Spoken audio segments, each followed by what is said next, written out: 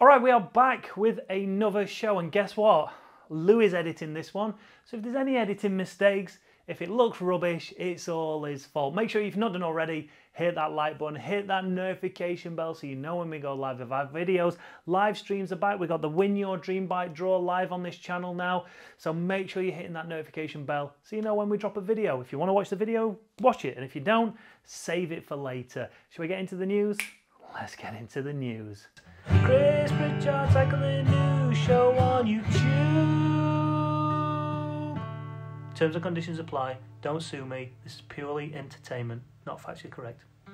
First up, this news story. Uh, it was actually Louis that sent this to me over on uh, over on LinkedIn from Strava's LinkedIn. It's a story from Cycling Tips. Seven countries, 7,237 kilometers a dog as a passenger, and the biggest bicycle ever. A couple have gone on a long ass journey around Europe to produce this. But uh, I don't know if it's genius or it's just a waste of time. I don't know. Um, me and Louis have discussed on numerous occasions creating some some Strava art, but it always ends with the same thing. How do we create a flaccid penis on Strava? if anybody knows a good route that we can take to do that, then let us know and we'll go and uh, and, and do it. We want all the the details, so the like inroads where we'll go inside, you know. Anyway, if you know that, then let us know. But um, yeah, leave your comments down below as we get into the racing news because that's pretty much all that's happened over the past past couple of days. So first up, let's talk Tour of Britain. It started yesterday and it started in Aberdeen where it finished last year. And they went up a mountain. Well, I say a mountain. There's no such thing as a mountain really in the UK, is there? But they had a hilltop finish, and it was a brutal one. And it wasn't the favourites that ended up winning it. It was Israel Premier Tech. Corbin Strong took the victory ahead of Omar Fraile, ahead of Norway's Anders Halland Johannessen. Uh, Tom Pidcock for Ineos Grenadiers uh, down in fifth. Stage two is going off as we speak. It's actually live on ITV4, I think. So make sure you go and tune in and watch it, and I'll bring you all the latest news from it on Wednesday. Next up in the news, let's talk La Vuelta because over the weekend it was, well, if we're going off the form we saw of the first couple of weeks, Remco Evenepoel should just be riding away from everyone. But we didn't see it. We saw the first chink in his armour. We saw the first crack in his porcelain exterior. Remco Evenepoel lost time over the weekend to all his rivals and especially Primoz Roglic. Roglic took a, a, minute and a bit out of him. I think he, his lead is now down to 1 minute 49 heading into the final week, rest day tomorrow. But over the weekend, we saw Richard Carapaz heading for victory. We saw uh, Primoz Roglic putting time into Remco Evenepoel, but we saw a gutsy mature performance from Remco Evenepoel. He pushed on. He didn't allow himself to try and chase Primoz Roglic, put himself into the red, and ultimately lose La Vuelta over that weekend. If he'd have pushed, and if he'd have caught him, if he'd have tried to stay with him, he could have gone and lost 10, 15 minutes. He could have been out of contention. But he stayed strong, he stayed mature, he focused on his effort, and ultimately he didn't lose a great deal of time. But it is nice, in a way, to see that red jersey just ever so slightly cracking, which is going to make for an amazing final week at La Vuelta. And I know what you're thinking. La Vuelta has been going on for five weeks now. It hasn't, two. But it feels like five weeks. It feels like this tour has gone on and on and on and on and on. A bit like this new story. Story. A bit like this new story, actually. So we'll end it there.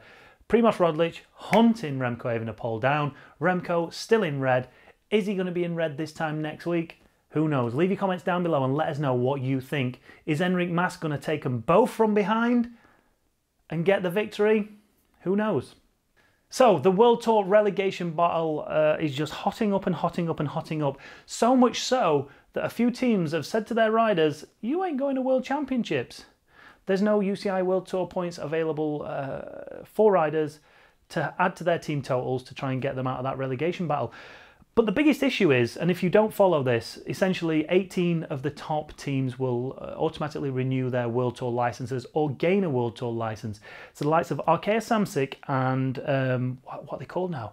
Alpecin Deceuninck, uh, they're safely in that top 15, I think, of teams. Arkea could potentially drop still, but um, Alpecin Deceuninck, eighth place, ninth, ninth, seventh, something like that. They're safe. They're going to get a World Tour license, which means one of the big teams is going to lose their World Tour license. So you've got the likes of Lotto Soudal, Israel Premier Tech, you've got Intermarché Wanty Gobert, you've got um, Team Bike Exchange Jayco, and EF Education, EasyPost, all there or thereabouts in that battle for that relegation. Any one of those teams could lose their World Tour license next year, and with it, potentially millions in sponsorship. So it's a massive deal to these teams that they keep their riders riding even the lowest of the low races in the middle of France just to try and get some victories, just to try and get some UCI points, put them on the board and hopefully save their asses from dropping down to pro Conti level. A lot of riders have said that this isn't fair, that they should postpone this because of obviously they've been racing during the pandemic. Some riders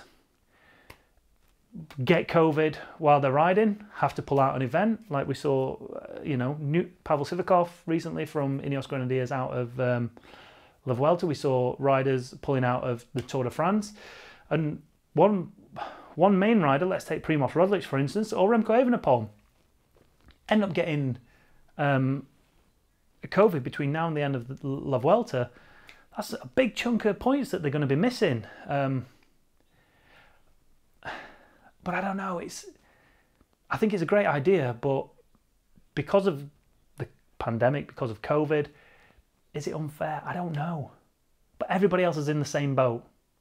So everybody's known about this. Everybody's been through the pandemic together, racing together. So it's not like it's not on their minds. It's not come out of the blue anywhere. Uh, but as ever, I'll keep you posted on this relegation battle as it hots up, as we get towards the end of the season. It'll be interesting to see who does and who doesn't go. Movistar, for instance, uh, stopping Alejandro Valverde from uh, from going to World Championships.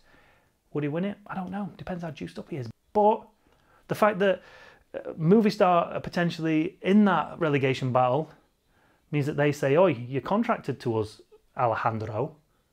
Do your job." You're not pissing off to Worlds around the other side of the world because once they come back from Worlds, jet lag, fatigue, anything could play a part and they could, uh, yeah, succumb to that uh, relegation. Leave your comments down below on anything and everything that we've spoke about today. Thanks for watching everybody. Make sure you hit that like button, hit that subscribe button, hit that notification bell so you know when we go live with our videos. We've got live streams coming, we've got Win Your Dream Bike draws coming, we've got new shows coming, we've got uh, everything coming. I'm coming. In your face. I don't know if you can put that in, Louis. You've got it though. Bye.